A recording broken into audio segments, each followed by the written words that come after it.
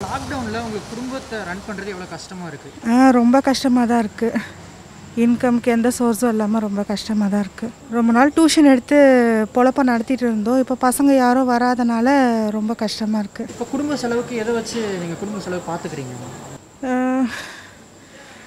அங்கே இங்கேயும் பக்கத்தில் வாங்கி தெரிஞ்சவங்க கிட்ட வாங்கி எடுத்து அப்படி தான் போயிட்டுருக்கு அறுபது ரூபா ஐம்பது ரூபா வெங்காயம் எப்படி வாங்க முடியும்? கிலோ கேரட் ஐம்பது ரூபான்றாங்க. எல்லாம் பண்ணுறாங்க எப்படி குடும்பம்லாம் எல்லாம் வேலை இல்லாத வீட்டில் இருக்கோம். ரெண்டு குழந்தைங்க இருக்குது பேத்திங்களாம் பால் வாங்கணும் எல்லாம் வாங்கணும். கஷ்டம்தான். ஆக்சுவலாக கம்பெனிஸ்லாம் ஹாஃப் சேலரி தான் பே பண்ணுறாங்க ஸோ ரெகுலர் இன்கம் இல்லை.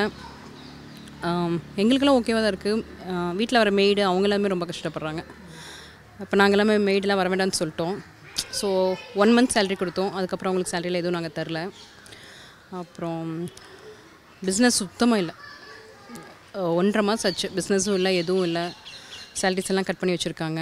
எம்ப்ளாயிஸ் எல்லாத்துக்குமே அதே ஹாஃப் சேலரி தான் பே பண்ணிகிட்ருக்காங்க இப்போ நியூ ஒரு டென் டேஸ் லாக்டவுன் எக்ஸ்டெண்ட் ஆகும்னு சொல்கிறாங்க ஸோ எப்படி போகும்னு தெரியல. இந்த லாக்டவுனால எதிர்காலம் என்ன ஆகுன்ற பயம்?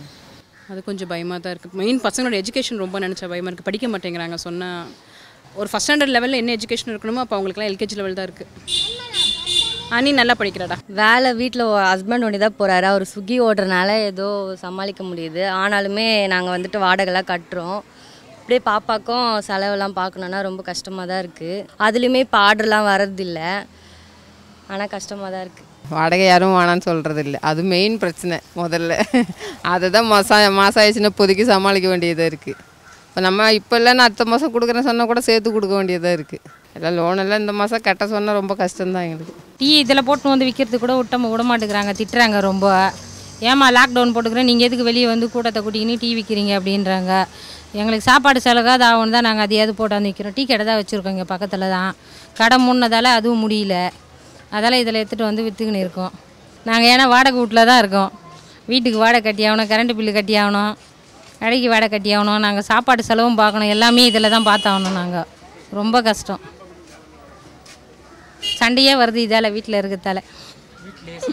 சண்டையே வருது.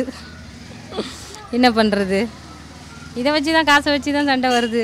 நார்மல் லைஃப் இப்போ இல்லை தான் ஏன்னா வந்து ஒவ்வொருத்தருக்கும் ஒரு ஒரு கமிட்மெண்ட் இருக்கும். அதையும் தாண்டி இப்போ அந்த கமிட்மெண்ட்லாம் என்ன பண்ணுறதுன்னு தெரியாமல் தான் உட்காந்துட்ருக்காங்க எல்லோரும். ஏன்னா என் ஹஸ்பண்ட் பிஸ்னஸ் தான் பண்ணுறாரு அது ஒரு நாளைக்கு இவ்வளோ இவ்வளோ இருந்தால் தான் இது பண்ண முடியுங்கிற ஒரு இது இருக்குது பட்டு இப்போ வட்டிக்கு தான் வாங்கி போட்டுட்டு இருக்காங்க சரிம்மா வரும்போது அது நம்ம அதை திருப்பி எடுத்துக்கலாம் அப்படிங்கிற ஒரு நம்பிக்கையில். இந்த லாக்டவுனால எதிர்காலத்தை நினச்சி என்ன பயம் இருக்குது ரெண்டு பொண் பொ- குழந்தைங்க அவங்களுக்கு கொஞ்சம் சேவிங்ஸ் பண்ணலான் இருந்தது. இப்போ நிறைய கடன் இருக்கறனால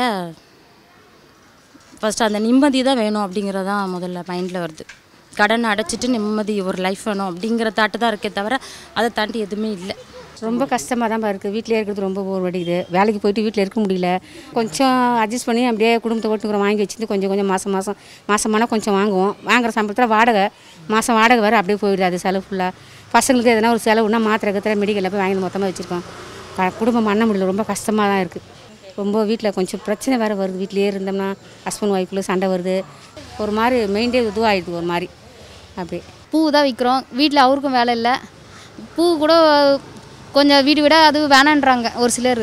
அது ரொம்ப டல்லாக தான் இருக்குது போகுது வியாபாரம் பண்ணுறது வீட்லேயே இருக்கிறது எவ்வளோ கஷ்டமாக இருக்குது ரொம்ப கஷ்டம்தான். ஏன்னா வேலை சொல்கிறாங்க வீட்டிலே உக்காந்து ஒர்க் பண்ணுறாங்க போகிறாங்கன்றது இப்போ நார்மலாக வந்து க சாதா டைம் இருக்கிறதோட இப்போ டபுளாக இருக்குது வேலைலாம்.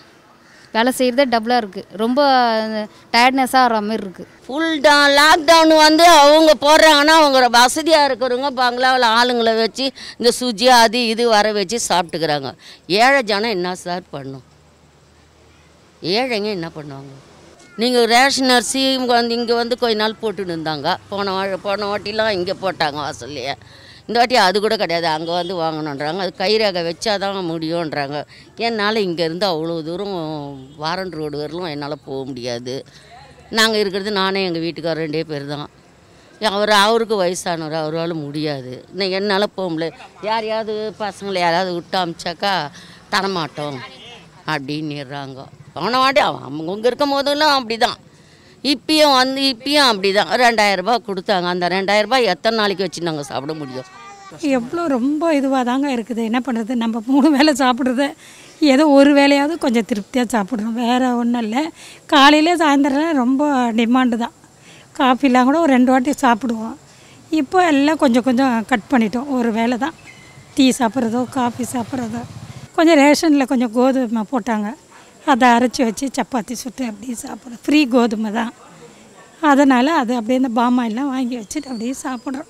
இப்போதைக்கு கையில் பைசா கஷ்டம் தான். என்ன? அது ஆனால் மெயின் எங்களுக்கு பட்டினி பசி இருந்தாலும் மெயின் இந்த நோய் வந்து குணமாகணும் சீக்கிரம். எங்கள் அதுதான் கடவுளுடைய சத்தியம் நாங்கள் பையன் ரெண்டு பையன் தான் சார். எங்கள் வீட்டுக்காரர் இல்லை சார். எங்கள் வீட்டுக்காரர் இல்லாமல் நான் நானும் எங்கள் பையன் தான் வேலைக்கு போகிறோம் இப்போதைக்கு. பெரிய பையனும் நானும் தான் போகிறோம் பெரிய பையன் ராஜி டிவியில் வேலை செய்கிறாப்புல வெறும் ஆறாயிரம் ரூபா தான் சம்பளம்.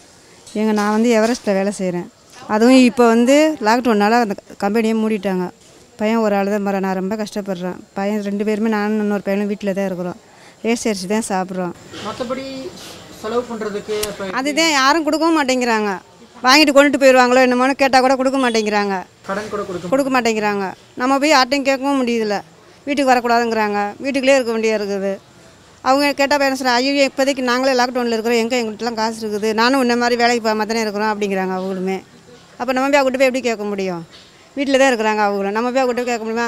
யாராவது இப்போ இன்னொருத்த வீட்டுக்கு போனால் ஐயோ எங்கெல்லாம் வராதியம்மா நீங்கள் ஹவுசிங் போட்டில் இருக்கிறீங்க அப்படிங்கிறாங்க. ஆ. அதுவும் உங்கள் இடத்துல எல்லாம் அங்கேருந்து இங்கே வராதீங்கிறாங்க. அதனால நாங்கள் வீட்டிலே இருக்கிறோம். யார்ட்டையும் கேட்கவும் முடியல கொடுக்கவும் மாட்டேங்கிறாங்க. வேலைக்கு நாங்கள் சமையல் வேலை செஞ்சுட்டு இருந்தேன்ப்பா. இப்போ வரக்கூடாது நான் கொரோனானால வேணான்ட்டாங்க. வாடகை கொடுக்க முடியல. அவன் ஹவுஸ் ஓனர்கிட்ட சொல்லணும். ஒரு ரெண்டு மாதம் தள்ளி கொடுக்குறாங்கன்ட்டு. இது கண்டினியூ ஆனால் ரொம்ப கஷ்டங்க வாழ்க்கையில். அது கொஞ்சம் கன்சிடர் பண்ணலாம். முதலமைச்சர். அவர் கொடுக்குறாரு. இல்லைன்னு இல்லை ஓரளவுக்கு தான் அது சமாளிக்க முடியும். மொத்தமும் சமாளிக்க முடியாதுல்ல. அவரும் கஷ்டப்பட்டு தான் செய்கிறாரு நம்ம அவரை தப்பாக சொல்ல முடியாது. நம்மளோட கஷ்டத்துக்கு தேவைக்கு என்னவோ அதுதான். இருக்கிறத வச்சு சாப்பிட்றோம் அவ்வளோதான் ரொம்ப கஷ்டமாக இருக்குது எங்கள் வீட்டுக்கார் ஆட்டோ ஓட்டுறாரு. வேலைக்கு போயிட்டு வந்து தான் காசு கொடுப்பாங்க. அதை எடுத்துன்னு தான் நாங்கள் கடைக்கு போயிட்டு நாங்கள் எல்லாம் வாங்கிட்டு வருவோம். இப்போ அந்த காசு இல்லாதனால எங்களால் எதுவுமே வாங்க முடியல. அதுதான் ரொம்ப கஷ்டமாக இருக்குது இப்போ பாருங்கள் இந்த ஒரு கொசுவத்தி வாங்கினா கூட எங்களுக்கு கஷ்டமாக இருக்குது மெர்க்குரி யூடியூப் சேனலோட கண்டென்ட் எல்லாமே உங்களுக்கு பிடிச்சிருந்தா இந்த யூடியூப் சேனலுக்கு சப்ஸ்கிரைப் பண்ணுங்க. அண்ட் பெல் ஐக்கானையும் ப்ரெஸ் பண்ணீங்கன்னா வீடியோ போட்டதும் உங்களுக்கு தெரியும். ஸோ நீங்கள் டக்குன்னு பார்த்துடலாம்